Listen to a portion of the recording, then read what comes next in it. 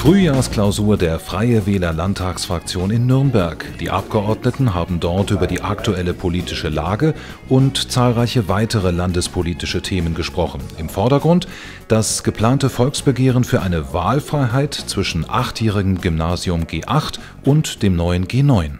Wir Freien Wähler sind der Überzeugung, dass die Einführung einer Wahlfreiheit zum neunjährigen Gymnasium überfällig ist in Bayern. Wir haben andere Bundesländer wie Hessen, wie Baden-Württemberg, die sind uns hier schon einen Schritt voraus. Die bieten ihren Schülern schon diese Wahlmöglichkeit an, mit der Folge, dass dort sehr viele Schüler dieses Modell wählen. Über 90 Prozent der Leute, die sich hierfür entscheiden können, wollen das G9. Wir dürfen unseren bayerischen Schülern diese Möglichkeit nicht vorenthalten, sondern müssen das mit anbieten.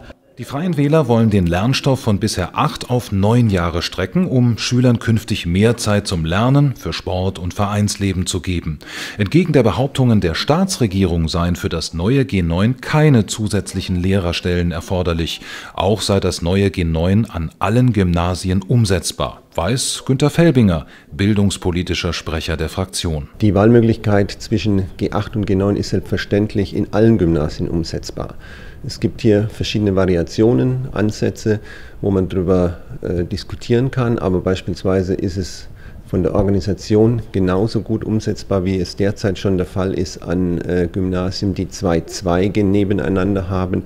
So wäre es auch denkbar, dass man G8 wie G9 äh, nebeneinander führt, weil man feststellen kann, dass in der Klasse 5 und 6 und auch in den beiden Oberstufenklassen eine hohe Kompatibilität da ist. Es spreche daher nichts gegen das Volksbegehren. Die Freien Wähler werden nun bald damit beginnen, Unterschriften zu sammeln. Natürlich haben die Abgeordneten die Zeit in Nürnberg auch für zahlreiche Gespräche genutzt. So wurde die Fraktion im historischen Rathaus von Dr. Ulrich Mali empfangen. Der Nürnberger Oberbürgermeister und neue Präsident des Deutschen Städtetags ist der Ansicht, dass Stadt und Land nicht als Gegensatz, sondern im Miteinander gedacht werden müssen. Dr. Peter Bauer, MDL und Frankensprecher der Freie Wähler Landtag Landtagsfraktion stimmt dieser Überzeugung uneingeschränkt zu. Die Idee ist, dass jeder seine Stärken nutzt und seine Schwächen aufarbeitet. Das ist die Idee hinter dem Zusammenwirken. Zum Beispiel, wenn Sie die Energiewende nehmen. Die Städte können die regenerativen Energien niemals zur Verfügung stellen. Da brauchen sie das Land dazu. Das Land kann aber nie die hochwertigen Arbeitsplätze zur Verfügung stellen. So ist ein sinnvolles Zusammenwirken zwischen Stadt und Land gegeben. Und so stellen wir uns diesen Ausgleich vor. Die Freien Wähler setzen sich zudem für eine starke Metropolregion Nürnberg ein. Kulturell als auch wirtschaftlich müsse ganz Franken gestärkt werden. Dazu gehöre auch ein leistungsfähiger Flughafen, den die Abgeordneten im Anschluss besuchten. Geschäftsführer Karl-Heinz Krüger erläuterte, dass der Airport Nürnberg in jüngster Vergangenheit einen starken Passagierrückgang zu verzeichnen hatte.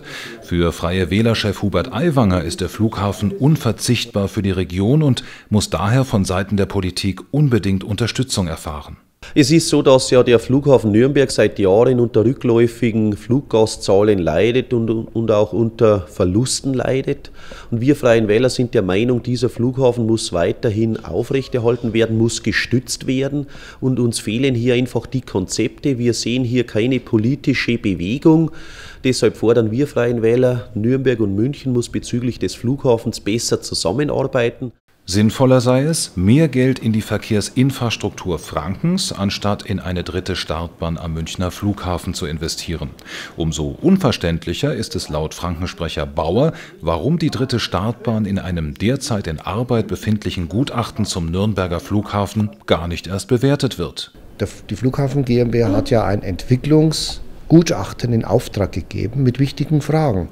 Aber eine der zentralen Fragen fehlt, nämlich die Frage, wie wirkt sich eine eventuelle dritte Startbahn in München auf den Nürnberger Flughafen aus? Hier kann man ja nur spekulieren. Gibt es positive Effekte oder gibt es negative Effekte? Das muss gutachterlich untersucht werden. Eine weitere Forderung der Freien Wähler ist die bessere Anbindung des Nürnberger Flughafens an den Nah- und Fernverkehr. Auch Freie Wähler Landrat Armin Kroder bestätigte während der Beratungen, dass der Flughafen für die Region Nürnberg eine enorme Bedeutung hat und für die Zukunft eine entscheidende Rolle spielt. Nach der Stippvisite am Flughafen ging es weiter zum Studio Franken des Bayerischen Rundfunks. Dort wartete schon der stellvertretende Studioleiter Norbert Küber auf die Abgeordneten. Im Mittelpunkt des Besuchs stand die Zukunft eines starken öffentlich-rechtlichen Rundfunks, für den sich die Freien Wähler engagieren. Angemessen, unabhängig und vor allem objektiv, so soll der Bayerische Rundfunk auch künftig über die Landespolitik berichten. Fraktionschef Hubert Aiwanger zog eine positive Bilanz. Mit dem Verlauf der Frühjahrsklausur in Nürnberg ist er sehr zufrieden. Unsere Bilanz ist eine durchweg positive. Wir sind überzeugt, inhaltlich richtig aufgestellt zu sein. Wir sind personell geschlossen. Wir haben keine Flügelkämpfe, keine Reibereien, keine Befindlichkeiten. Wir sind gewappnet für diesen Wahlkampf und für die Regierungsbeteiligung ab Herbst 2013.